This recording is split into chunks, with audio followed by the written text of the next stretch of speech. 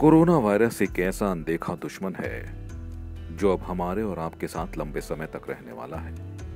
ये सच्चाई है जिसको अब सरकार के साथ साथ डॉक्टर्स भी मानने लगे हैं। ऐसे में ज़रूरत है कि खुद को इस लंबी लड़ाई के लिए तैयार किया जाए। लॉकडाउन फोर भी नए रंग, नए नियम के साथ तैयार है, लेकिन इन सब के बीच सबसे ज़्यादा पैनिक कहीं है तो वो है घर की किचन में। महिलाओं को सब्ज़ी से लेकर दूध और राशन के ज़रिए कोरोना के घर में घुसने का डर सता रहा है। ऐसे में ज़रूरत है कि सही मार्गदर्शन लिया जाए और ये समझ लिया जाए, ऐसे हालात में हमको, आपको कोरोना से बचने और ज़िंदगी को आगे बढ़ाने के लिए क्या करना है? तो आइए जानते हैं, मशहूर डॉक्टर हिमांशुल काला की फ़ायदेमंद सलाह क्या कहती है। देखिए सर, पहले तो कोरोना वायरस से आप आज की डेट में अगर आप प्रिकॉशंस ले रहे हैं, पूरी तरह आप किसी के संपर्क में नहीं आ रहे हैं तो कोरोना से आराम से, बहुत आसानी से बचा जा सकता है। अब आजकल जो हालात चल रहे हैं तो इस अगर लॉकडाउन ख़त्म भी होता है तो उसका मतलब ये नहीं कि कोरोना ख़त्म हो जाएगा। कोरोना ख़त्म नहीं होगा। कोरोना अभी अनुमानित समय है कि छः महीने, साल भर हो सकता है, दो साल तक ये हमारे साथ रहे। तो उससे बचने के लिए बेसिकली आपको प्रिकॉशंस लेने हैं। आपको सोशल डिस्टेंसिंग का मेंटेन करना है हाइजीन मेंटेन करना है बस। अगर इतना भी आप कर रहे हैं तो आपको बिल्कुल भी कोरोना से डरने की आवश्यकता नहीं है।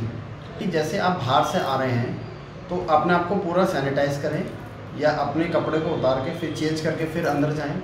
बाहर से कोई भी सामान ला रहे हैं उसको आप पानी में सोडा से भिगो के आप सब्ज़ियाँ ला रहे हैं तो उसको सोडा से भिगो के रख सकते हैं। या आप ये भी कर सकते हैं कि उस सब्ज़ी को ला के घर में आप 24 घंटे तक छोड़ दें। अगर इतना भी कर दें आप तो भी कोरोना से आप आराम से बच सकते हैं। क्योंकि आज की डेट में जो कोरोना फैल रहा है, वो यूजुअली सामान से नहीं फैलता है। सामान को हम फोमाइट्स कहते हैं फोमाइट्स जो सामान से फैलने की जो, वो तो फोमाइट्स कहते हैं। वो यूजुअली फैलता है, आज के डेट में जो फैल रहा है, वो मरीज़ से पेशेंट किसी बंदे पे फैल रहा है, डायरेक्टली फैल रहा है। पर हाँ ये ज़रूर देखा गया है कि सामान जैसे आप बाहर से ला रहे हो, सब्ज़ी ला रहे हो, कोई भी चीज़ ला रहे हो तो उसमें चांसेस हैं कि कोरोना वायरस हो सकता है। उससे बचने के लिए क्या करें, जैसे कोई सामान आपका ख़राब होने का हो सकता है, जैसे कि दूध के पैकेट लाए हो आप, और वो ख़राब होने की चांसेस है कि वो ख़राब हो जाए तो उसको क्या कर सकते हैं वो हम चौबीस घंटे नहीं रुक सकते। तो उसके लिए हम क्या करेंगे, उसको साबुन से धो लें। जैसे अब जब लॉकडाउन खुलेगा तो मेल जोल बढ़ेगा, ये सब होगा।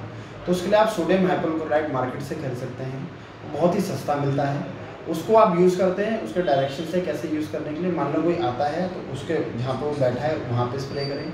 जहाँ जहाँ वो गया है, वहाँ पे स्प्रे करें। तो बहुत इजीली से उसको आप 10 उस सोडियम हाइपोक्लोराइड को डाल के 10 मिनट तक छोड़ दें। वो पूरी तरह आपका एरिया सैनिटाइज हो जाएगा। और अभी आप बड़ी जैसे कोई भी गैदरिंग है सोशल गैदरिंग है सिनेमाज हैं या कोई भी मॉल है, इसमें जाना अवॉइड करें कम से कम छः महीने तक सिक्स मंथ्स तक इसको अवॉइड करें। फिर क्या होगा सिक्स मंथ्स के बाद एक्चुअली में क्या होगा, ऐसा नहीं कि कोरोना खत्म हो जाएगा।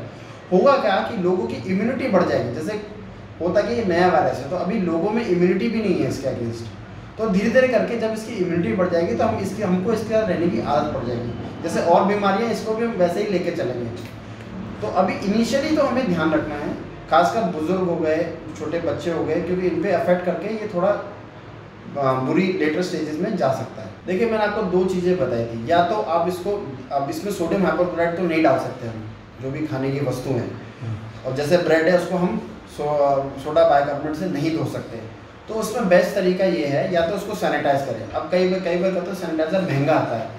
हर कोई अफोर्ड नहीं कर सकता। तो उसमें बेस्ट ये है कि जैसे आप ब्रेड लाए उसे घर के अंदर ले आओ आप अपने हाथ धोएँ और उसको वहीं रहने दें चौबीस घंटे बस। तो ना के बराबर चांस है कि ये आपका कोरोना फैले कोरोना का गर्मी से संबंध है कि अगर हम गर्म एनवायरनमेंट का देखें, अगर हम गर्म एनवायरनमेंट को देखें तो कोरोना की जो वायरस की एक्टिविटी वो कम हो जाती है। ये बात तो पक्की है। पर अभी क्योंकि ये हमारे लिए नया वायरस है, अभी ये गर्मियों पे क्या अफेक्ट आएगा, इसका इसका हमारे लिए कहना बड़ा मुश्किल है। क्योंकि अभी ये नया वायरस है तो हम इसको मान के चलेंगे कि ये इतनी तेज़ी से फैलेगा जितना ये अभी फैल रहा है।